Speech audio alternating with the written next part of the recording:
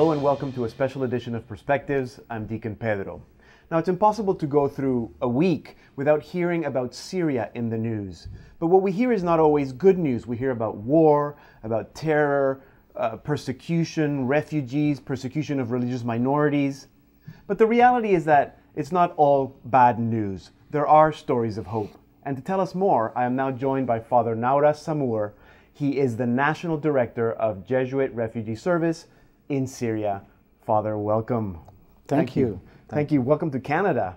Back to Canada, I should say, because you studied here in Ottawa. Exactly, between 2005 and 2007 in Sa- at St. Paul University. Yes, very good. Um, for our viewers who they've heard of Syria, but maybe are not quite sure, where is this country? How big it is? Tell us a bit about your country. You are Syrian. You were born I am there. Syrian. I'm Syrian. I've, I was born in Aleppo and I'm uh, based right now in Damascus, the capital of Syria. Uh-huh. So Syria, it's uh, a country at the uh, eastern part of the Mediterranean Sea. Uh-huh. It's uh, just under Turkey, from the north is Turkey, and uh, a little bit lower of uh, Lebanon. So it's, north of Lebanon, south of Turkey. Exactly, and uh, Iraq it's from West. the eastern is, uh, uh, eastern Iraq side. is on the east side. Yeah, Yes. eastern side. We are uh, the west is the Mediterranean Sea. Okay. So it's the population is something like 23 thou- uh, million, Million, uh-huh. million. and uh, you know it's a country something like two percent of the of Canada in terms of uh, Of area. of area. Yeah. Okay, so in terms of Canada, it's not big, but it is a big country for the region. Yeah, yeah, yeah, yeah, yeah. What is- I mean, I mean, it's it's something like 185 kilometers, uh thousand kilometers square. The, Uh-huh. Yeah. the, the the area. Right. And, the population? The population 23, 23 23 million? million. Seven percent are Christians, something like 7%. 7%. Uh, and with other minorities like Alawite, Shiite, Druze, and that's it. Uh-huh. Something like all in all, minorities 25%, and the, the majority is Sunni 75%. So Sunni Muslim. Sunni Muslim. Sunni Muslim is the majority of the population. Um, I've, I've had many conversations in this studio about the Middle East and about the Holy Land. And some people think that, you know, we think of the Holy Land, we think of Israel, Palestine, but we forget that your country, Syria, and Lebanon and Iraq, I mean, all the E- Egypt, can also be considered part of the Holy Land. Damascus It has been there since, I mean, it's I in the Bible. I mean, two facts only. Antioch, it's a part of Syria now. It's in Turkey. Uh-huh. It's the first place where, Where the Christians have been called Christians. Christians, Antioch, so yes. The first century. It's in the book of Acts. The yes. second fact, it's the, the Via Recta, you know, in the Bible, Uh-huh. the straight road, Uh-huh. where the conversion of St. Paul with St. Ananias, you know, and we still have that chapel in Damascus, in old part of Damascus. So it's in somehow the, the cradle of Christianity as well. Right. So Christianity, Hmm. that's where Christians were first called Christians. The population now, you said it's about 7% Christian. Is that about 3, 4 million people? No, I mean at the maximum now, I would say it's it's the number drops till the. But it's the- dropped, Yeah, yes, yeah, that's yeah. what I so something like we still have something 1 million, 1.2 million. There's no statistics, but I would say something like 1.1, 1.2 million. But you mean it's dropped since the crisis in 2011 or even before it was and, dropping? and before a little bit, yeah. I mean, uh, a lot of migration, Christian migration, uh, uh, started after at the 50s of last century, Uh-huh. mainly to the Latin America countries. A lot in Canada. Here in Canada, we have you know Mm-hmm. Yes, an important community in the States, in Europe. You know, now, when you were growing up in Aleppo, was it a, uh, there was there a large Christian community where you were growing up? Yeah, something. When I was born in the 70s, Aleppo, the city, it was something like 15% of the Uh-huh. population of the Aleppo, the city. Right now, it's not even 2%, I would say. Really? Still have something like 50,000 Uh-huh. Christian in Aleppo uh, of 2 millions. Right. And when you were growing up, what were the relationship, the relations between Christians, Muslims, and the other groups? It was very good. It was very good. I mean, we've never asked that question about about belonging, religious belonging. I mean, I used to go to school with. Uh, I had a lot. I still have a lot of friends, Muslims, Christians, together. You know, without going to the same club. You know, being fan of the same football club. Mm-hmm. You know, Of course, playing football together. yeah, yeah, yes. yeah, yeah. So no problem. So when did things start changing? I would say in the heart of the majority of Syrians, there's no change. We still respect each mm-hmm. other. We still love each other. Right. And we still consider ourselves as, as Syrians first. Yes. For the majority, except for some of those who became fundamentalists, who became mm-hmm. radicals. Mm-hmm. That's, yeah, that's, that there was a change. I don't know why, but because according to me anyway, a lot of frustration mm-hmm. uh, regarding the biggest problem of the area. I mean that the problem between Arab and Israel, it's not solved yet in a very just way. So that's one issue. Yes. The second issue, it could be about all the problems for the, the country around Iraq, the invasion, you know, all Yes. those Yes. issues as well. So that changed a little bit the heart Mm-hmm. of some people. But I would say, fortunately, it's not for the majority of Syrians. For a small number of Syrians, yes, a little number. And when when the discontent begins with certain groups of people, was that discontent reflected in uh, government when a particular government took over, or uh, how did that? I mean, we know about the current government and the crisis that began three years ago now. I think It's almost four 20 years. It's almost four years. Um, but even before that, the discontent had already. Yeah, before that, because of the, the international atmosphere, I would say. You know, there was, um, there was in somehow um a failure of a lot of ideologies. Pan-Arabism, Uh-huh. uh, that was a failure. Uh, you know, all kind of secularism in the Arabic countries, Arab countries. So you know. discontent with the fact that, that Yeah. countries were becoming more secular. Exactly. I mean, no, because th- there was a failure of secularism uh, Oh, I linked see. to the Pan-Arabism, that that biggest ideology And after Pan- uh, Pan-Arabism is that they wanted the whole... to have the whole united Arab nations together. Okay. You know, and it was it failed. Okay, now can we talk about that a little bit because I think that's another misconception that a lot of people think that everyone in the region that they're all Arabs, but that's not true. No, because we have other You have other and ethnic cultures groups. and cultures. We have Kurds. Kurds, We have Armenians. We have uh, the well, Persians old, in Iran. Yeah, uh, yes, and all communities, Syrians, you know, Syriac, Assyrians, all those as well. They are not, uh, they are not uh, Arabs, and that's I'm talking only about Syria right now. Right. I mean, if you could go around as well, you have, you know, all the uh, former civilization from northern Africa. You know, they are not Arabs. Mm-hmm. No. You know. No, Yeah. no. What's so called Berber in, in Yes. northern Africa, for example. Yeah, the Berbers. Yeah. Um, and in terms of the Christian population, are most of the Christians, what we are part of the, the Catholic Eastern rites? Like you mentioned, the Armenians, I guess they would be Armenian Catholic. Yeah, we have the Christian, the Catholic. We have so far, for example, in Syria, six bishops. I mean, six different communities with different, different rites. Yeah, we have Melkite, Melkites. which is the Byzantine, Uh-huh. right? We have Syrian right? Uh-huh. We have Maronite. We have Chaldean. We have uh, as well Latin, and we have Coptic in Egypt. Uh-huh. Oh, so y- a yes. little bit in Syria, Syria. and we have what else? Armenians. Armenians. Armenians.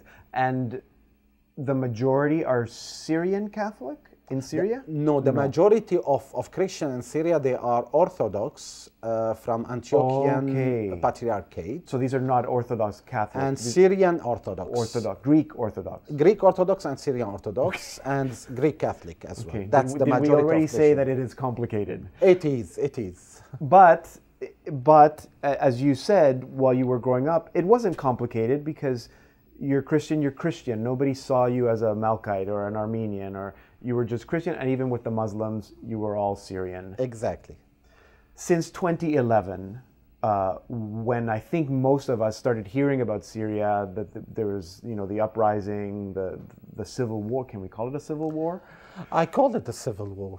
Yeah. Actually, I have. Yeah. Now I'm I'm much more comfortable of of, tell, of saying that it's civil war than other things, with with the international dimension as well. Right. The the figure that I have is that 200,000 Syrians have died officially since 2011, but you think the number is higher. I would think yes, it's higher than 20, 20 200,000 people uh, killed, because those who are dis- who disappeared, mm-hmm. we don't have any news. Mm-hmm. Those who are you know kidnapped without any news, and those who killed without being identified in somehow. Right. So. So you don't know. Yeah. Now you live in Damascus now. Yeah. How is living in Damascus today? Uh, listen, the daily life in Damascus, it's, I mean, if you go right now to Damascus, you see there's a traffic jam, there are people going, people going around, to work, kids going, going to, to, school. work. Yeah, yeah, yeah. No problem. With the difference of checkpoints, you know, some, some, some roads are blocked uh, mm-hmm. for different reasons, especially for security reasons. And you could hear the aviation bombing yes, somewhere, yes. airplanes. You could hear fighting around. Right. And, in the city? And yeah, and the city, there's no fighting. Some some areas of the cities, yes, besieged mm-hmm. areas, and mm-hmm. there's fighting. Yes. But you know, the heart, the downtown of Damascus, there's nothing.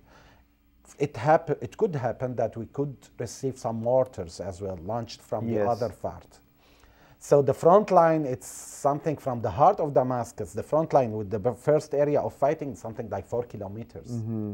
not mm-hmm. more. So you, we could hear everything, but life continues. Yeah. That's what I say. It's the phase two, the phase one of the events. I mean, everybody was scared. I mean, they are we are stuck at home. We don't move at night, and yeah. we avoid to go out. That's the first the, the phase, first stage. The first stage, the first phase. Now the phase two, I mean, we go around, we don't care about tomorrow, and we, we let's say we live the, the present moment. Yeah. The present moment. And somehow it's a fatalism, yes. which is which is according to me dangerous. Yeah. Dangerous. I mean we don't care about the future. People have if it's gonna up. happen today, let let yeah. let it happen. Yeah. I guess that's one of the effects of, of, of a war where people get used to it. And I mean, I've, i remember reading stories about Beirut when a, a, car bomb would go off and people would just check that it wasn't their car and then they'd go to have their coffee. Exactly. Um, because they've just gotten so accustomed to it. Exactly not, the same. Yeah. Exactly the same. I mean, that's, that's, that's, that's bad. Yeah. That's bad, yes. Now, the work that you do with Jesuit Refugee Service, tell us a little bit about the organization. It, it's it's been around for 30. It's going to be 35 years since 1980. Yeah, exactly. What is the goal of the organization? I mean, it started in 1980 with the boat people phenomenon. You know, from in, Vietnam, in Asia Pacific. uh, uh, yeah, that region.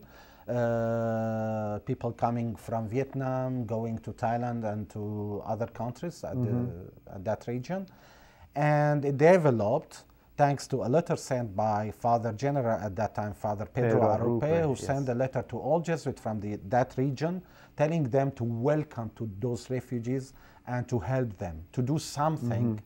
for helping them. And that was the first moment of the JRS, Jesuit Refugee Service. Now it developed. Now we have 10 regions mm-hmm. all over the world, worldwide uh, Northern America, Latin America, Southern America, and Europe, four regions in Africa, uh-huh. one in Central Asia, one in Asia Pacific, and the last one was the creation of uh, Middle East and Northern Africa, our region. That's right, and you were the director of that region exactly for, for the last four years or so. Yeah, and it started just to help Iraqis. So it started with the Iraqi in, crisis. Yeah, yeah, in 2008, and then. Uh, because of the events in Syria, it developed a lot. Now our region, which is the last one, and it was considered like the smallest one, uh-huh. it's the biggest region, the unfortunately. Biggest. Because I mean, you have more refugees coming from that region? I mean, in terms of population served, we serve something like 35% of the whole refugee community we serve mm-hmm. in all over the world. Mm-hmm. And in terms of budget, we are the biggest budget. In really? terms of the um, let's say, involvement of Jesuits, who are the biggest number of Jesuits working, and in terms of involvement of volunteers and uh, staff, we are the biggest number as well. Right. So that's it. And is your work, would you say that the work is still uh, qualified as to welcome and to serve the To refugees? accompany, to accompany, to, to walk with? accompany exactly, and to serve and to advocate their own rights as refugees, as displaced people. So to accompany, it's about how it's, we are not a machine. I mean, a supplier of services. We are people working with people, human beings working with human beings. So you're not a supplier of services. So it depends on the way of welcoming those people, the way of uh, you know just uh, taking them as people, human beings, suffer in suffering. So just to, to listen to them, to be empathic with them in somehow, that's the aim. What, who, whatever the service we could offer, the way of offering that service, that makes the difference. So you, you might still provide the service, let's say giving them clothing, but how you do it is different That's than. exactly. It's about how to do things, not uh, what to do. Mhm. And do you have, so in your region, Syria, um, would you have volunteers, Syrian volunteers that work with you and they're out there in the refugee camps? Where, where do you do your work? In Syria, we don't have any refugee camp. They are all urbans. I mean, Okay. people who are completely lost So in these the displaced, cities. displaced Syrians who, sorry, Syrians who are displaced in Syria. yeah, in different in different uh, uh, cities, in different areas of biggest cities. Uh, we, we are talking about 5.5 million people displaced within Syria, and some of them they have been displaced several times. And do you have Syrians that are in refugee camps outside of Syria and Lebanon and other And in places? Lebanon, there's no official camp. no. The majority of Syrian in Lebanon, they are urban refugees as well. Right. Yeah. One of the things that you do, I, I guess, in terms of advocating, is that you try to give a voice to the refugees. Exactly. Tell us how that works. The uh, I would say the the the most painful uh, way of doing our work is to be uh, like a partial and uh, you know and to have that approach of understanding i would say manichaean approach we have from one side those who are good guys on the other side who are bad guys Uh-huh. and uh, it's in somehow in somehow it's we discriminate people. And we don't do that. We, re- we welcome everybody and we receive everybody. And we found out that majority of syrians they are voiceless indeed. I mean in media it's about extremism. If there's you know a barbarian act, if there's uh, some atrocities committed, if there's you know some bombing uh, caused uh, 100 of death of casualties, that's in the media. It's the first the first Yes. news. Whereas the life of millions and the suffering of millions and the majority of Syrians they are in suffering without having that voice. So you those know? are the stories that we don't hear. Exactly. I mean, the good stories as the bad stories. Mm-hmm. You know, so they are voiceless. You know, now for Syrians, the majority of Syrians would like to, to, to, to be in peace mm-hmm. and would like to, to have that peace in a some in such way where Syria is always united and it's an inclusive country. Mm-hmm. It's not divided. In de facto, we are in divided country right now, which Yes. is unfortunate. Yes. But for the majority of Syrians, we would like to have a united Syria for all Syrians. How, how is the threat of Islamic State, ISIS, affecting the whole situation? You know, I mean, it's it's something we could not tolerate. I mean, it's not acceptable at all to have such a powerful and attractive ideology mm-hmm. in the 21st century which calls people to kill others who are not like them. So why is it so attractive? I don't know. I don't know. I mean, I don't know. I can't understand. In, in, in, in everyone, in each one of us, maybe there, there is a small grain of fundamentalism, of uh, fanatism, or whatever. But, you know, the, the, the, the culture uh, calls us to, to just to, to befriend that grain and to be a social with others in you know a sociable human being with others in the society to build together.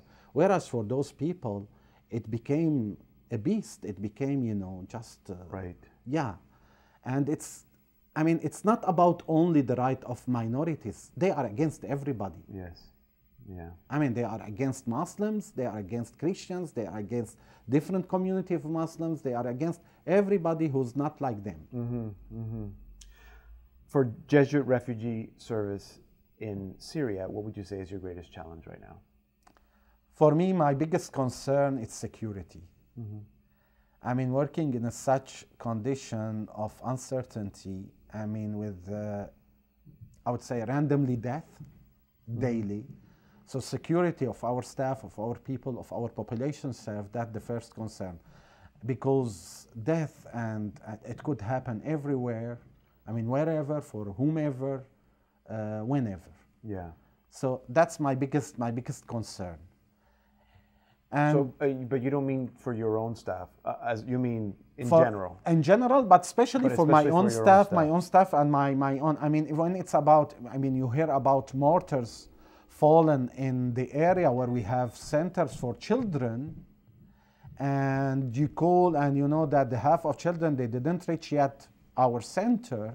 So you you are. I mean, Yeah, I'm I'm a little worried. bit yeah. Well, and we hear about even priests or religious being kidnapped. Like you, your targets as priests. That that must be something you. We have lost as. Jesuit uh, six months Yes. ago, seven months ago, in in Old Homs. Yes.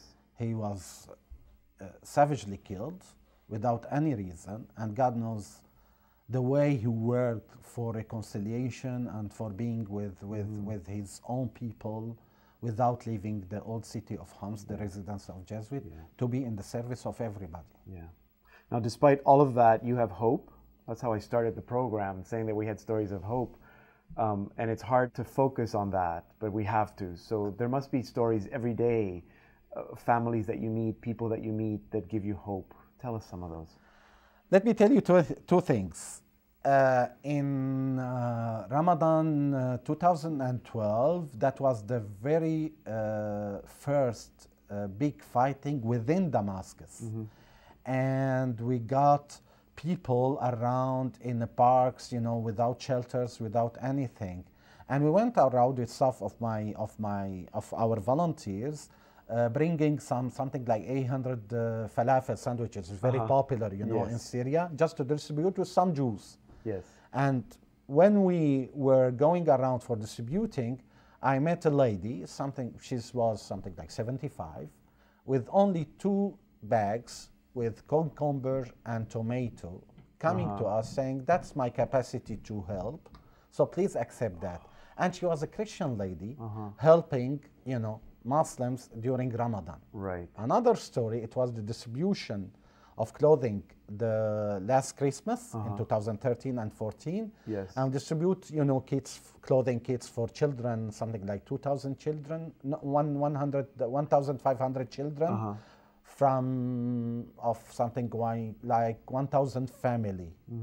And, uh, you know, we distribute. The last day of distribution, uh, we gave to two children with the mother, and it was the last day. The very next day, we received a visit from that family, children with uh, new clothes, the mother and the father, with a handmade cake.